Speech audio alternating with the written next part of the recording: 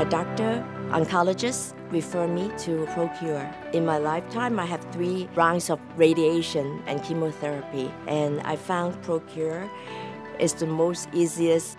The last radiation and chemotherapy, I was feeling so happy because my mom came, my family came, and all the staff came out and celebrate my last day of radiation, and I felt very warm and very happy.